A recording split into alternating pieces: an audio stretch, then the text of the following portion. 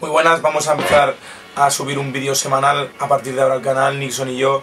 Vamos a empezar otra vez a mover el canal un huevo y vamos a empezar con una entrevista a mí después de mi paso por la televisión, que quiero hablar mucho de todo lo que ha pasado este año, de todas las reacciones que ha llevado la gente, de las consecuencias que he tenido en mi vida y demás. Entonces vamos a hacer una entrevista enfocada ahí y hablar de mis próximos futuros y de por qué he estado cuatro meses sin rapear, ¿vale? En batallas de gallos y más, porque seguir videoclips les he seguido sacando, pero vamos a hacer una introducción vamos a hacer una entrevista que espero que os guste. Fue el primer programa de Mujeres, Hombres y Viceversa y el segundo First Days, pero claramente me quedo mucho más con la primera experiencia que viví en Mujeres y Hombres y Viceversa.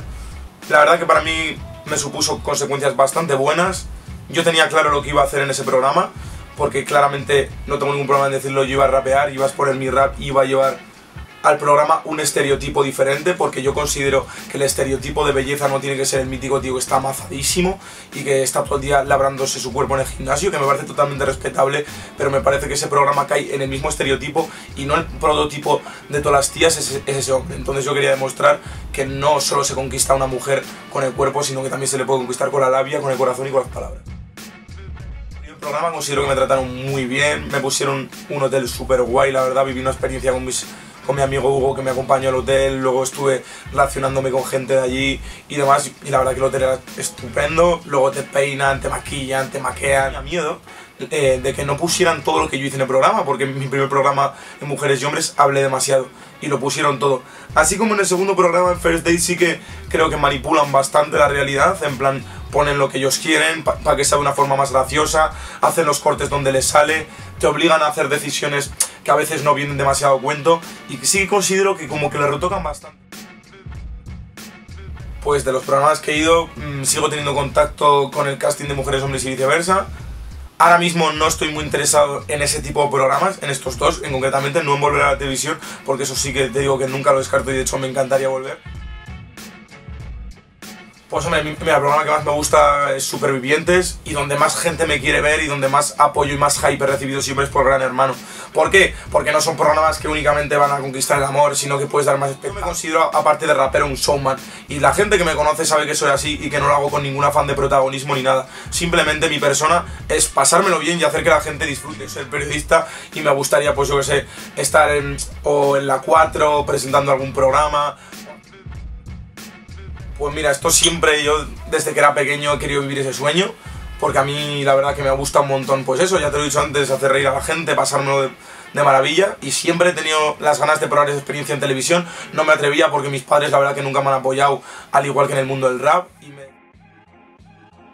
El tema que más le gusta a, la gente, pues yo creo que estaría entre dos, que yo creo que son el que tengo con Yesca por el estribillo, que se le sabe bastante gente, pero el de alcanzó en Nirvana, si fumo del blon, porque es como bastante pegado. y luego yo creo que el otro que gusta bastante a la gente es el de mm, el que tengo de todo o nada. Pues siempre una historia que viví yo de desamor y demás, que es bastante real y es un tema que le gusta bastante a la gente, y yo creo que esos dos son los que más le pueden llegar a gustar a la gente. El que menos le gusta a la gente está claro que es 40 grados por la cantidad de dislikes que tiene y yo creo que no le gusta a la gente porque obviamente interpretan que es un tipo de canción un poco fuera de tono. Y en Burgos, a la hora de innovar, cuando innovas tienes que hacerlo perfecto o como te quedes a medias una innovación. Yo hice un rap como con reggaetón que no termino de explotar porque además mi personalidad siempre es muy polémica y yo a mínimo fallo que cometa van a ir a por mí. Pues yo creo que el autotune está perfectamente y me parece un recurso que se puede utilizar en todas tus canciones si quieres y hay gente que lo utiliza en todas sus canciones, que para hacerte un buen trap. Tienes que meter autotune y que es un recurso que al artista le ayuda y tú no te pienses que tú cantas fatal y el autotune va a hacer que hagas una canción perfecta, que el autotune lo único que te ayuda es a modular tu voz. La música. ha habido una evolución y ahora se juega mucho más con los ritmos, con la musicalidad, cosa que antes se premiaba solo la letra y solo el mensaje y ahora mismo se premia un doble tempo, se premia una entonación, se, se premia la métrica, los adornos en la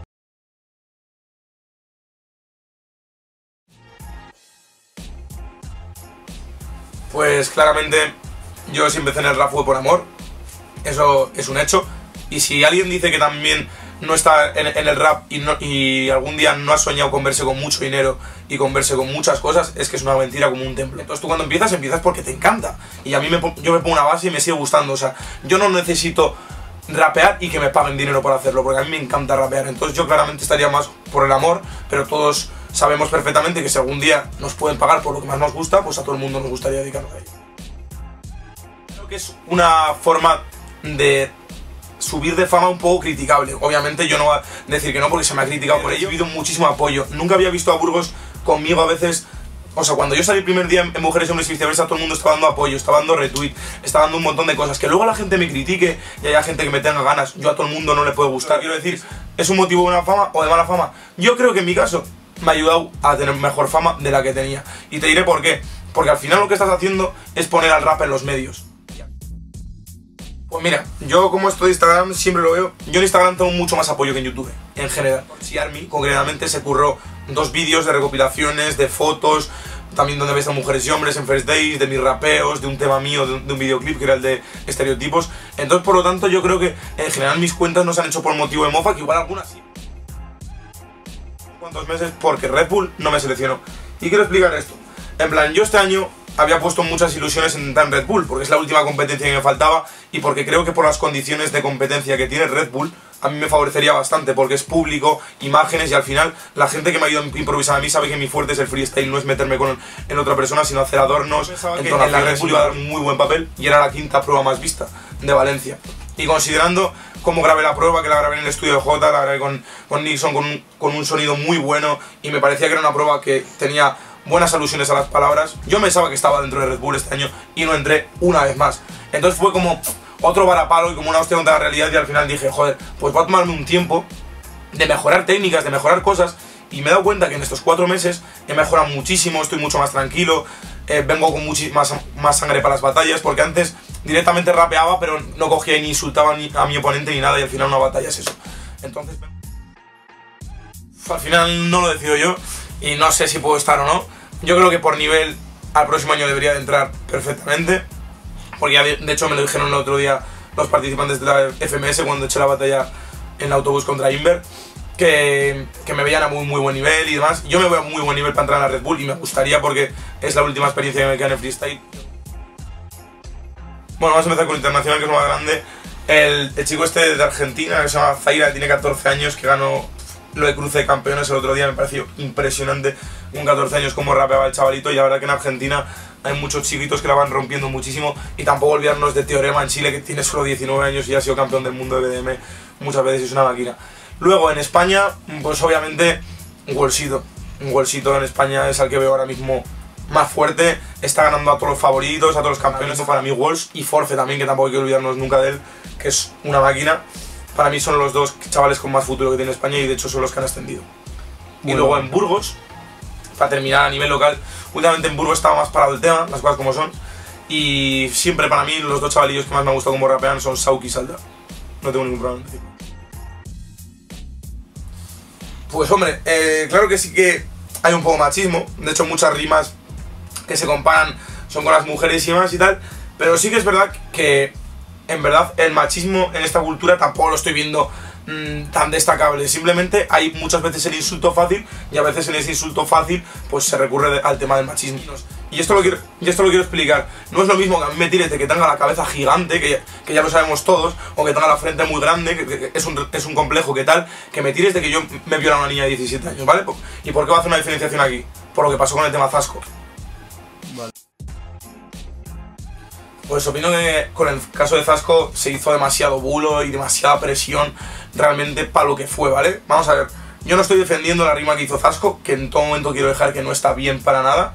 Es una contestación, ¿vale? En la que él se pone en el personaje del que le está tirando y FJ le dice que para sus relaciones no tiene que utilizar condones y él coge y le responde que él es un violador y que su hija irá al cole y sabes qué pasará cuando Zasco la viole que le pondré el vídeo para que le veas y llores. Vale, yo analizo esta rima y en plan, lo que está haciendo Zasco es atribuir lo que le están diciendo. En plan, llevan un puto año tirándole todos de que se está violando a una niña que tiene 17 años o lo que sea. Y yo entiendo que eso, que eso es duro, porque no es lo mismo que te tiren de un defecto tuyo que te tiren con una cosa que es de tu vida personal y que al final afecta a tu familia y a toda la gente que tiene alrededor.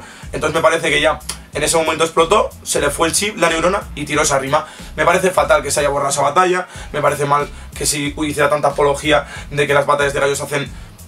¿Cómo, que fomenta la violación?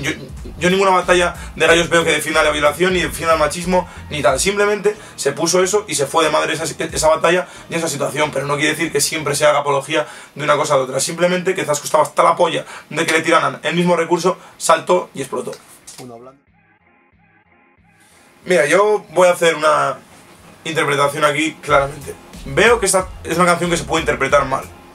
¿Vale? Porque de hecho pues digo bastantes burradas. No es de la canción que más orgulloso me sienta como persona, pero joder, en verdad yo he tenido una época de mi vida que tenía 18 años y era bastante golfillo, la verdad, las cosas como son. Y no tengo ningún problema en reconocerlo, ¿sabes? Yo iba a las discotecas, me gustaba bailar, me gustaba hacer tonterías y no me arrepiento de ello para nada. Entonces yo, hice una canción un poco basándome en el personaje que era yo cuando salía de fiesta, cuando tal. O sea, yo no estaba diciendo ninguna mentira. Con eso no estoy diciendo que ni la mujer sea menos ni que tal. Que es que una mujer, si se come a 50 tíos, pues puede ser igual que si un tío se las come. Yo, yo no soy de estos que iba a hacer una canción más traviesa. Me salió bien, me salió mal pero al final era un poco de lo que reflejaba mi personaje, pero para nada quiero interpretar el machismo que me parece una cosa súper fea. Yo creo que de los freestylers ahora mismo que hay en España, no tengo miedo a nadie, ¿sabes? O sea, excepto, pues obviamente, claro que Chuti, Walls, Blon, Scone, hay cinco personas en el, en el, panorama que nadie se quiere enfrentar a ellas porque te pueden dar un palizón, porque obviamente están a un nivel altísimo. Pero sinceramente me gustaría con coletillas eh, hacer una revancha, o con Mark, que siempre me pegó un palizón a Midground y la verdad que me quiero quitar ese sabor de boca, que la verdad que es un poco agridulce. Mm, vale, vale. Inver. Inver es una persona muy, muy buena en el panorama, ha ganado muchísimo y tiene batallas que son la polla. Y yo soy el primero que soy fan de las cosas como son. Pero a mí me parece que no está a un nivel muy bueno. Porque freestyle, si lo dejas de entrenar, encima es que esto es lo que pasa, que tú no, es que inversa más malo que antes, sino es que la gente va evolucionando mucho. ¿Sabes lo que te quiero decir? Entonces, si tú estás un año sin improvisar y hay otros chavales que le están dando 5 horas al día, pues van a hacerlo mejor que tú. Entonces le veo más asequible ganar a Inver que ganar a Walls. Pues, ¿qué quieres que te diga? Pues mira, la verdad que mi foto en tanga me la hicieron a tradición en el parral con una borrachera terrible que ya yo ni me arrepiento ni nada y se empezó a rular cuando yo salía a la tele y cuando era más famoso. Eso, eso me parece triste y lamentable, que si esa foto se hubiera rulado antes a mí sin ningún problema, pero que no se rule cuando yo estoy mejor. Pero si saldría en Playboy, pues sí, la verdad, no te engañas. Me haría un Playboy. no tengo nada en contra de los homosexuales, para nada. Tampoco defiendo el cambio social 100% como lo hace Arcano. Ni soy gay. Eso sí, yo no tengo ningún problema en opinar si un hombre es guapo si es feo, ¿eh? La verdad que pase tema soy parcial, ni soy de las personas que están cerradas 100%, pero de allá que me guste Peten, pues la verdad que no. Y tampoco tienes problema en vestirte como mujer, ¿no? a mí vestir sí me ha gustado vestir a mi manera, ya sabéis que soy un, un poco pijeta y me gusta poner mis politos y mis pantalones ajustados.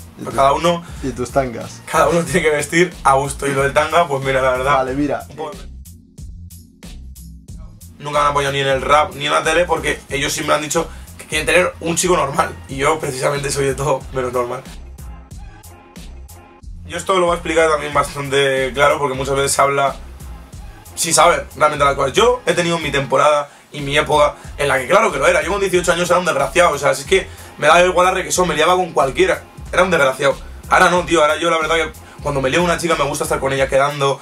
En plan, ¿sabes? Intentarlo con ella. No me gusta liarme con una chica por liarme. Me tiene que gustar, ¿sabes? Ya una chica. Eso de que lanzo las cañas a todas, pues no. Es que además muchas veces hay una hipocresía terrible.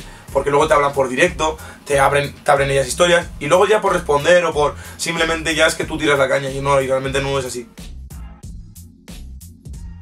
O mira, yo también de pequeño también. Es que de pequeño siempre digo que tienes al final cosas más raras en la cabeza porque estás más enfermo. Y esas cosas son así. Y a mí de pequeño me encantaba comer la almejita, no te engañar. Pero ahora la verdad que soy más mayor y me gustan más pues, otros padres, pues la verdad que prefiero que me la coma. Normal. La ventosa que yo, obviamente, hace muchísimo tiempo que la, descubrí. Bueno, no sé, es una historia bastante graciosa que me la contó eh, un, un, jugador de pádel de, mi equipo, que era carnicero. Y me dijo, mira, tú cuando estás haciendo el amor, realmente, y, y, estés chupando, pues eso, lo de abajo, no vamos a decir tal, pues mira, realmente tú estás comiéndolo con bastante ímpetu y hay un momento en el que eso abre. Y cuando abre, haces. Y echas el aire calentito de su interior. Y eso es lo que hemos apodado la ventosa. Que realmente no es una técnica sexual que satisfazca mucho, pero es gracioso. Porque es una cosa bastante graciosa. Y luego también tengo el acordeón, que es como por así decirlo, con los cinco dedos haces el cosquilleo de. Con un cuarto haces como un cosquilleo y con los otros dos que más destreza tengas, metes. Entonces haces como una especie de turbina entre el cosquilleo y lo que metes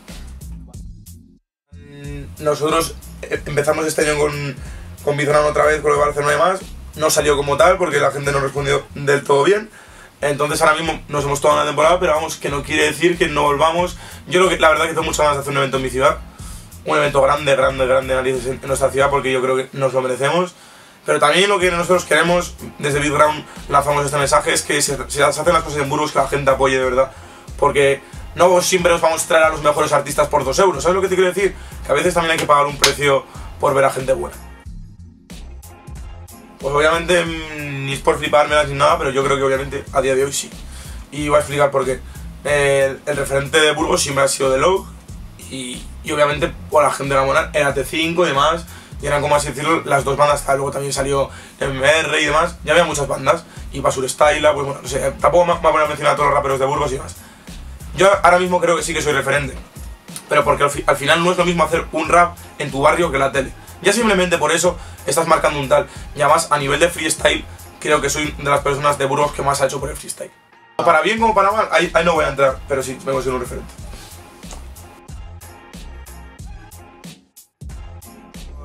Voy a estar a Nixon, obviamente, que es el que me dio la oportunidad con Beatground, que es con la competición que al principio más he subido. Luego, otra- cosa es que está en la BDM y demás, que las oportunidades me las dieron Eude y Soen, pero a nivel de Burgos, ellos no son de, de aquí de Burgos. Entonces, diría Nixon, que me ha apoyado. Eh, luego en Burgos me ha apoyado también la gente que tengo a mi alrededor, pues mi familia, mis hermanos, mis amigos, mucha gente de Big Ground, pues como yo sé, el taladro, de la 023, o no sé, al final mis amigos con los que empecé a rapear, no sé si me dejo alguno, pero todos los que empezaron conmigo para mí me han apoyado increíble, la verdad, que no me esperaba que iba a haber tanta gente y tanto apoyo. Para toda la gente que apoyáis siempre, tío, de verdad que un saludo muy grande, porque gracias a esos comentarios de apoyo, que sobre todo por el Instagram es por donde más noto el apoyo de la gente y el cariño, muchas gracias, porque aquí hay Torchi Barrato y Bitground está en la casa. ¡Skrrr!